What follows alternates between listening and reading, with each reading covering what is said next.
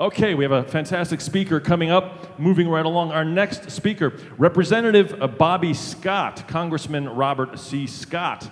Uh, he's going to be talking next. He is serving his 12th term in Congress. His legislative successes include laws that increase the minimum wage. He helped create the Governor's Employment and Training Council, which improved health care benefits for women, infants, and children. He is the first African American elected to Congress from Virginia since Reconstruction, and only the second African American elected to con Congress in Virginia's history. He is a member of the St. Augustine's Episcopal Church. His very first car was a light blue Dodge Dart which is just wonderful. And the first music he bought, he's not sure, but probably some jazz. Please, let's make him feel welcome. Welcome, Representative Bobby Scott. Thank you. Thank you, Thank you, George, for your very kind introduction. Uh, ladies and gentlemen, good afternoon. Now, it's fitting that we're right under the gaze of Abraham Lincoln to honor the same union and diversity in this country that he dedicated himself to maintain as one. As Episcopalian, I can attest to the power of working with people of many faiths and secularists who understand that when we use reason, critical thinking, and empathy, we know that America is at our best even in the face of adversity and inhumanity.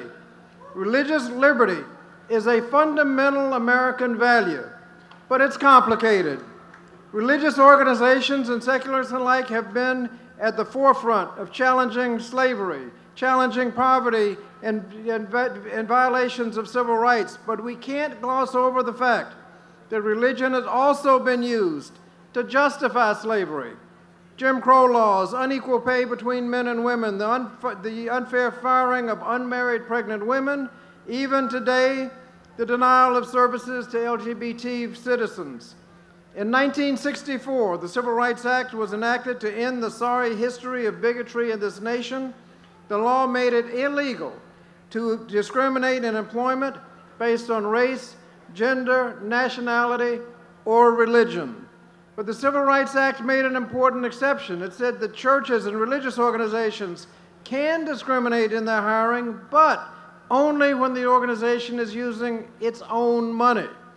But a particular peculiar thing happened under the Bush administration, still going on today, and that is a so-called faith-based initiative that started to allow religious organizations to claim a so-called right to discriminate in hiring based on a religion, religion, even with taxpayer dollars.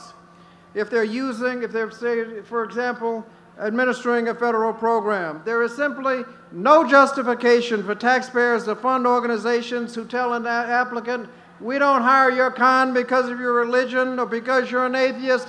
We don't need that kind of discrimination. Now that violates the principles of the First Amendment and basic understanding that if an organization is going to accept federal funds, then they ought to prohibit discrimination in employment with the federal funds.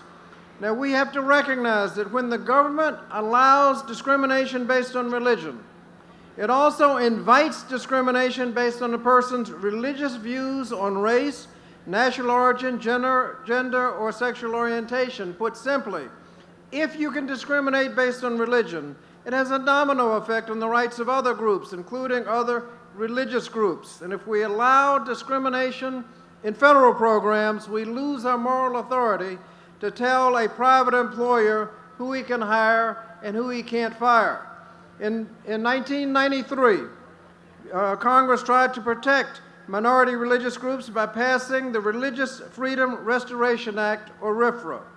Under RFRA, Congress said if government is going to take any action that might affect religious practices, then it must have a compelling interest to do it and use the least restrictive means to achieve that goal.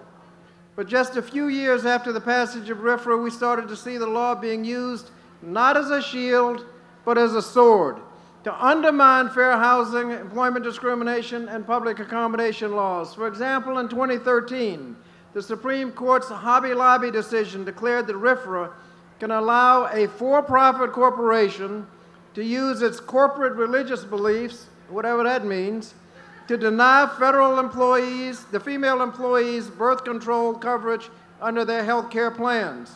So let me say emphatically we should be free to believe or not, but we should not allow sincerely held religious beliefs to, of one person to cause harm to another person by allowing discrimination.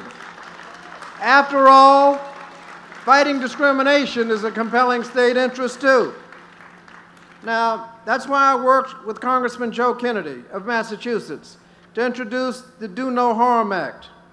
The Do No Harm Act protects, protects religious liberty, but it also maintains protections against discrimination.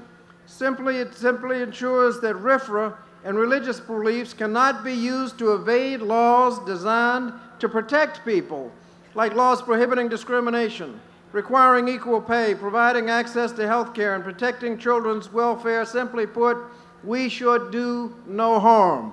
So, what can you do? Call on your representatives in Congress and tell them to support the Do No Harm Act. We must stand up and take notice when so called religious liberty or religious freedom or faith based initiatives are used to weaken established civil rights laws. So I ask you to use your voices for reason and to hold your elected officials accountable to uphold civil rights laws that prohibit discrimination. Together, we, make, we have to make clear that governor, government should never fund discrimination. No one should be disqualified from a taxpayer funded job because of religious discrimination. And we should not allow a law designed to, to protect minorities to be, to be used to inflict harm. Now, we are here today because we believe that reason mandates that justice guide our public policy, not fear or irrationality and speak out. And remember that Martin Luther King once said that in the end, we will, not we will remember not the words of our enemies, but the silence of our friends.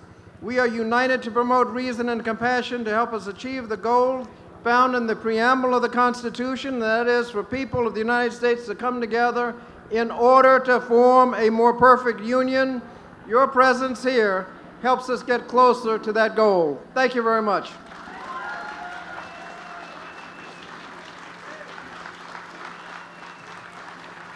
Representative Bobby Scott. That's right. Thank you for wearing a suit, sir. It takes a certain courage to wear a suit in June on the mall.